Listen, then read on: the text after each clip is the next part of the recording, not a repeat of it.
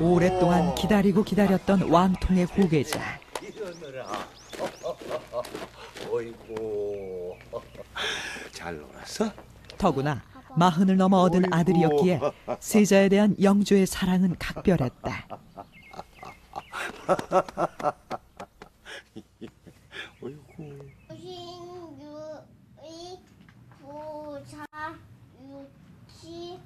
그만큼 아들에 대한 기대도 컸다. 신 세자가 세 살이 되던 해부터 영조는 서둘러 교육을 시작했다. 부왕의 기대에 걸맞게 어린 시절의 세자는 영특한 자질을 보여 영조를 기쁘게 했다.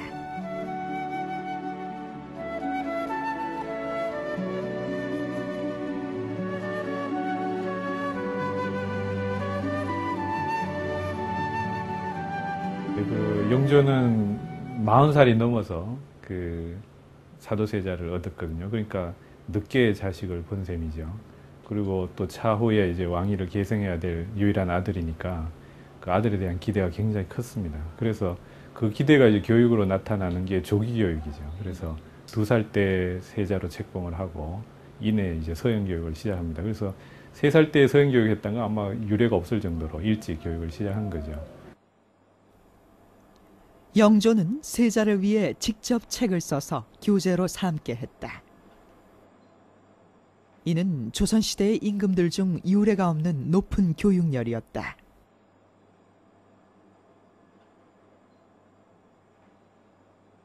세자를 가르치는 춘방에 걸어둔 영조의 친필 현판. 춘방관들에게 태만하지 말고 열심히 세자를 가르칠 것을 당부하고 있다.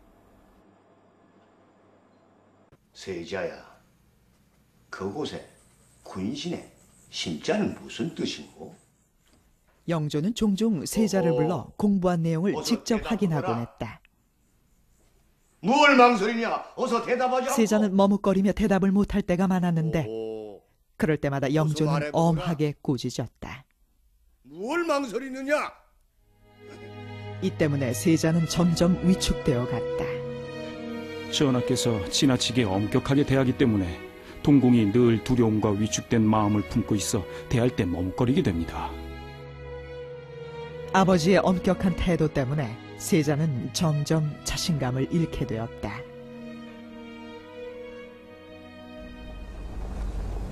영조는 왜 이렇게 엄했던 것일까?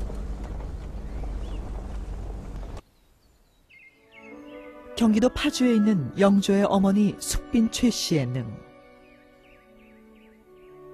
숙빈 최 씨는 궁에서 청소를 하던 무수리 출신이었다. 어머니가 천한 신분이라는 사실은 영조에게 늘 컴플렉스였다. 왕이 된 후 영조는 숙빈 최 씨의 묘호를 높이고 웅장한 신도비를 세우는 등 어머니의 위신을 높이기 위해 노력했다.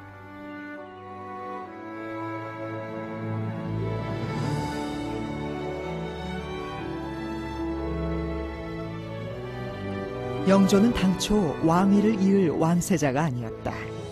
이 때문에 10여 년간 궁 밖에서 서민들과 더불어 생활해야만 했다.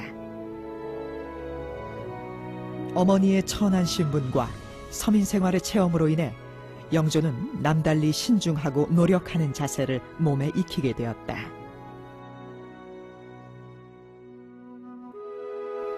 어려운 환경에도 불구하고 영조는 강한 의지로 일관한 인물이었다. 항상 열심히 노력했고 노력한 만큼의 결과를 이루어냈다.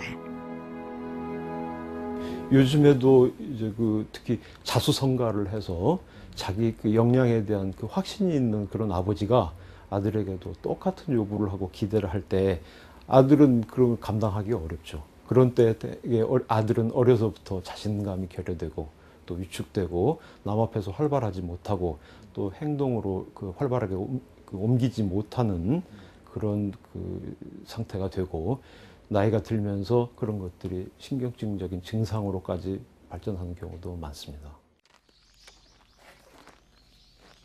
능력 있는 아버지의 기대는 세자에게 부담으로 작용했다.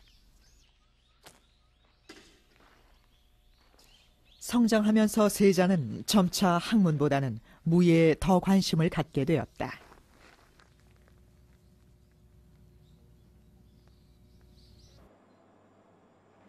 정조 때 편찬된 종합무예교본서 무예도 보통지 이는 사도세자가 지은 무기신식이란 책을 바탕으로 만들어진 것이다.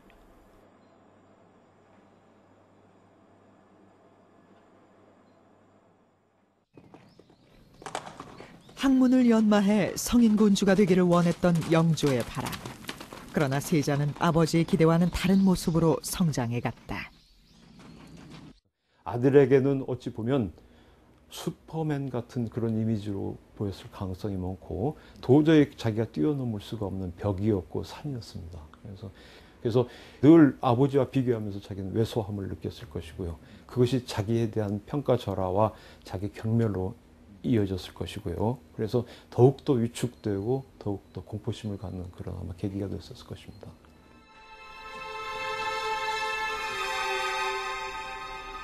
아버지에 대한 부담감으로 생긴 마음의 병.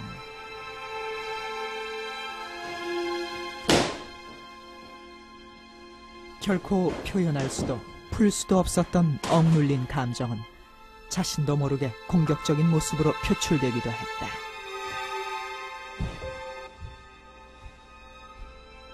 어찌 그리 나약해서 나라를 다스리겠는가? 너무나도 아들을 사랑했던 아버지 영조. 그러나 기대가 지나쳤던 탓에 아들은 오히려 마음에 상처만 입었다. 사도 세자는 심각한 정신질환을 갖고 있었지만 결코 사리를 분별하지 못할 정도는 아니었습니다. 이번에 발견된 사도 세자의 친필 서한을 통해서 그의 내면을 엿볼 수 있습니다. 세자는 아이를 낳은 부인 해경궁 홍 씨의 몸조리를 걱정하면서 또 처가의 생일까지 직접 챙기는 등 자상한 면모를 보여주고 있습니다. 그리고 세자는 자신의 병세를 걱정하면서도 장인에게 남한 형지, 양향 군무 도서 같은 그러니까 한강 이남의 지도와 군사, 말 사료, 곡물 등에 관한 책을 구해줄 것을 부탁하고 있습니다. 이처럼 사도 세자는 아픈 와중에도 군왕으로서의 자질을 갖추기 위해 노력했음을 알 수 있습니다. 그렇다면 영조에게 문제가 있었던 것은 아닐까요? 실제로 영조는 부지런하고 명석했으며 이 학문에 정진했던 군주였습니다. 아, 이를 바탕으로 해서 그는 백성들을 위한 많은 치적을 남겼는데요. 신문고를 부활시켜서 백성들의 소리에 귀를 기울였고 어, 균역법을 실시해서 세금 부담을 줄여주기도 했습니다.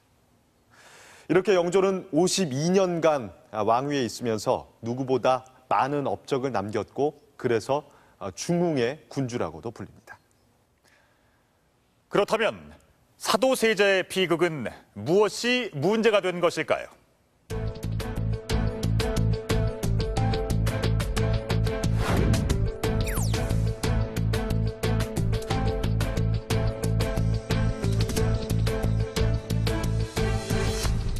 실록에 의하면 어, 나경원은 이 궁중별감 나상원의 형이었다고 합니다.